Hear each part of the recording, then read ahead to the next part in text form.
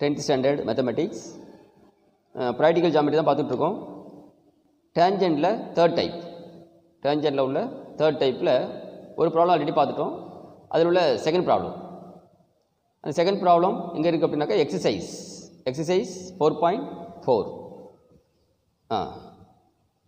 Construction of a tangent to a circle using alternate segment இந்த alternate segment அப்படின்னு வந்துட்டாவே இது வந்து டைப் த்ரீ டைப் த்ரீயில் வந்து ரெண்டே ரெண்டு ப்ராப்ளம் தான் இருக்குது இது ரெண்டாவது ப்ராப்ளம் டைப் த்ரீயில் செகண்ட் ப்ராப்ளம் இந்த செகண்ட் ப்ராப்ளம் எங்கே சொல்லியிருக்கோம்? எக்ஸசைஸ் அப்போ இது second problem exercise four point four புக்கில் எடுத்து பாருங்கள் அதில் உள்ள எக்ஸசைஸ் ஃபோர் பாயிண்ட் ஃபோரில் கொஸ்டின் நம்பர் தேர்ட்டீன் சரி இது கொஸ்டின் என்ன சொல்லியிருக்காங்கன்னு பாருங்களேன்.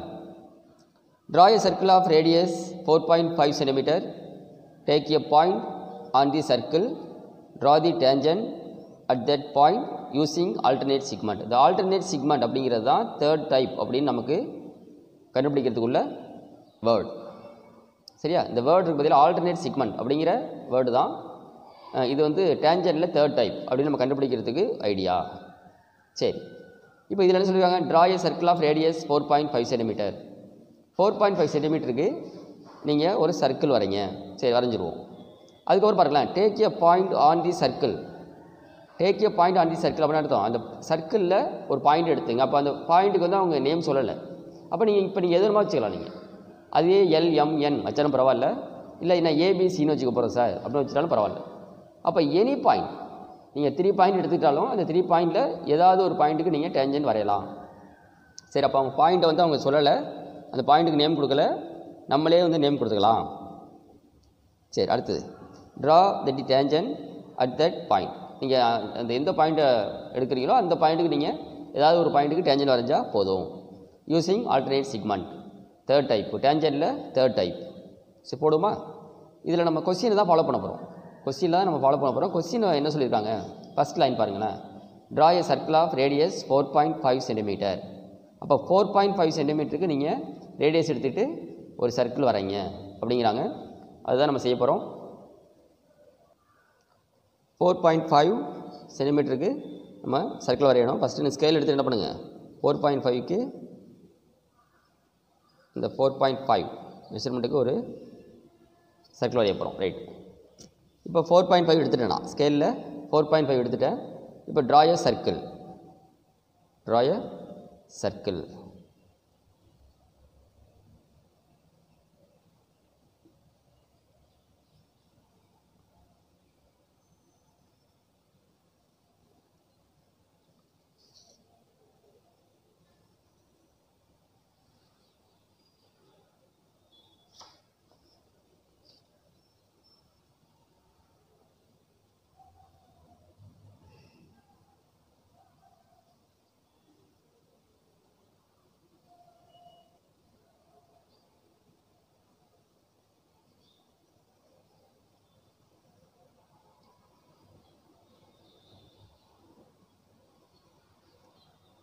draw a circle of radius 4.5 centimeter.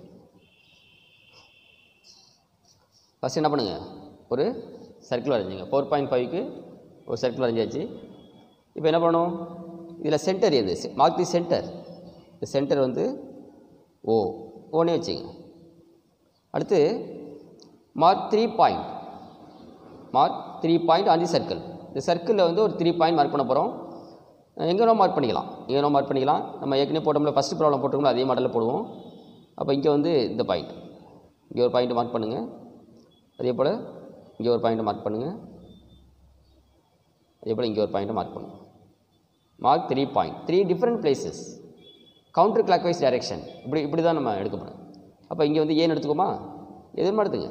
இது ஏன்னு எடுத்துங்கன்னா ஏ இது ஏன்னு எடுத்துங்க. இது வந்து பி இது வந்து சிங்கிற பாயிண்ட் இல்லை சார் ஃபஸ்ட்டு ப்ராப்ளம் பெரிய நான் வந்து எல்னு எடுத்துக்கிறேன். அப்படின்னா எடுத்துக்கலாம். எல் எம் என் அப்படி எடுத்து போட்டாலும் okay take three different places on the circle circle மேலேயே ஒரு த்ரீ பாயிண்ட் எடுத்துங்க. அதுக்கப்புறம் என்ன பண்ணுங்கள் ஜாயின் பண்ணுங்கள் ஃபஸ்ட்டு இந்த ஃபஸ்ட்டு இந்த ரேடியஸை ஜாயின் பண்ணுங்கள் OA OA that is the radius of the circle ஓஏங்கிறது radius of the circle சர்க்கிளோட ரேடியஸ் மார்க் பண்ணிட்டோம். அப்புறம் அந்த த்ரீ பாயிண்ட்ஸ் இருக்குல்ல ஏபிசி இந்த ஏபிசி அப்படிங்கிற த்ரீ பாயிண்ட்டையும் ஜாயின் பண்ணுங்க. ஜாயின் ஏபி அப்புறம் பிசி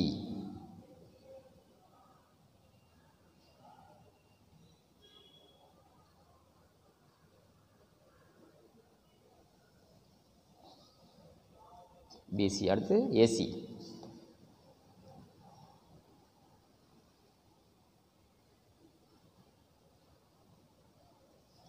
ஏசி இப்போ த்ரீ பாயிண்ட்டையும் நம்ம ஜாயின் பண்ணிட்டோம்.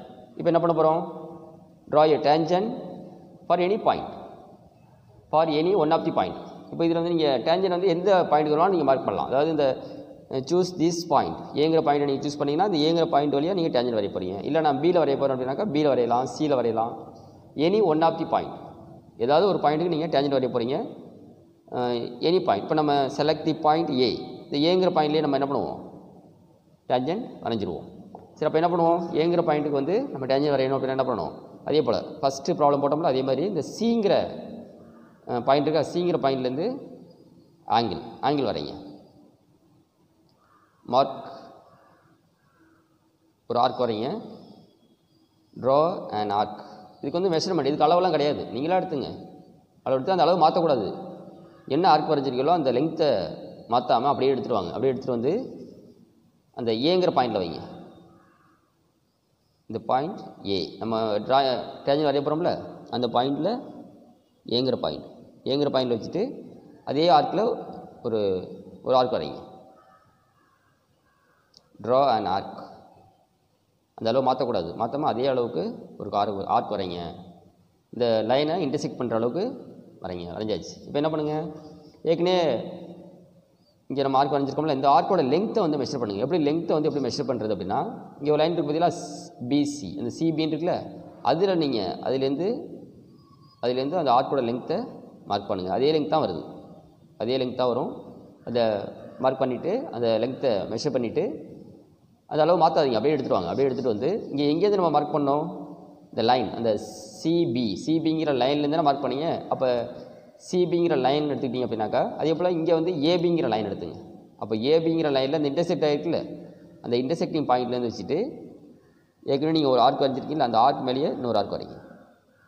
ஏற்கனவே ஒரு ஆர்க் வரைஞ்சிருக்கீங்க அது மேலே இன்டர்செக்டிங் ஆகிற மாதிரி ஒரு ஒரு ஆர்க் வரைஞ்சாச்சு. இப்போ இந்த இங்கே வந்து என்ன ஆகுது வெளியில்? இந்த ரெண்டு ஆர்க்கும் இன்டர்செக்ட் ஆகுதுல்ல அந்த இன்டர்செக்டிங் பாயிண்ட்டை நோட் பண்ணிங்க. அந்த இன்டர்செக்டிங் பாயிண்ட்டையும் இந்த ஏங்கிற பாயிண்ட்டையும் ஜாயின் பண்ணுற மாதிரி ஒரு லைன் போடுங்க. That is the tangent that is the tangent இப்போ இதை வந்து நம்ம மார்க் பண்ண போகிறோம் இப்போ நீங்கள் ஒரு லைன் போட போகிறீங்க அந்த லைன் எப்படி இருக்கணும்? இந்த ஏங்கிற பாயிண்ட் வழியாகவும் போகணும். இந்த இன்டர்செக்டிங் டூ ஆர்க் இந்த ரெண்டு ஆர்க்கும் இன்டர்செக்ட் ஆகுதுல்ல? அந்த இன்டர்செக்டிங் ஆர்க் வழியாகவும் போகணும்.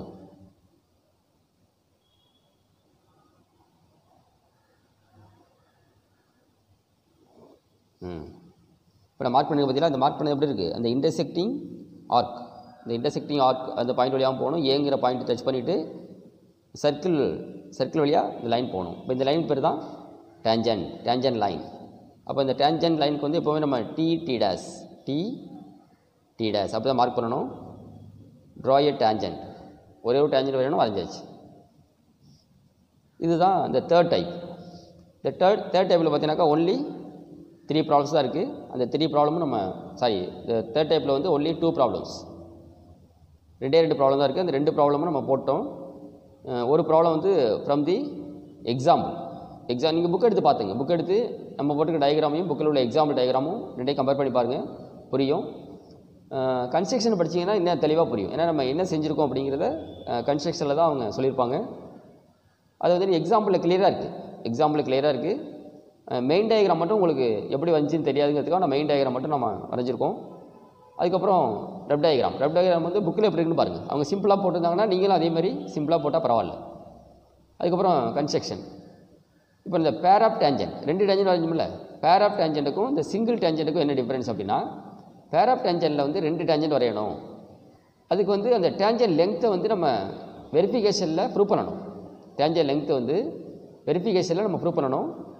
ஆனால் அந்த வெரிஃபிகேஷன் வந்து இந்த சிங்கிள் டேஞ்சன்ட் ஒரு டேஞ்சன் வைக்கிறோம்ல அந்த ஒரு டேஞ்சனில் வந்து வெரிஃபிகேஷன் கிடையாது. அப்போ ஒன்லி த்ரீ பார்ட் இந்த சிங்கிள் டேஞ்சனில் பார்த்தீங்கன்னா த்ரீ பார்ட் த்ரீ பார்ட் மட்டும் தான் வரும். இந்த த்ரீ பார்ட்னா என்னென்ன? இந்த first part rough diagram second part main diagram third type வந்து கன்ஸ்ட்ரக்ஷன் இந்த டயக்ராம் எப்படி போட்டோம். ஸ்டெப் பை ஸ்டெப் அல்காரிதம் அதுதான் வந்து கன்ஸ்ட்ரக்ஷன் இதை மட்டும் நீங்கள் பார்த்துங்க. இப்போ டேஞ்சனில் வந்து த்ரீ டைப் த்ரீ டைப்புமே நம்ம முடிச்சிட்டோம். ஃபஸ்ட் டைப் வந்து pair of tangent second type வந்து ட்ராய் டேஞ்சன் வித் யூசிங் சென்டர் அதுக்கப்புறம் தேர்ட் டைப் ஆல்டர்னேட் சிக்மெண்ட் இந்த தேர்ட் டைப் பார்த்துட்டோம்.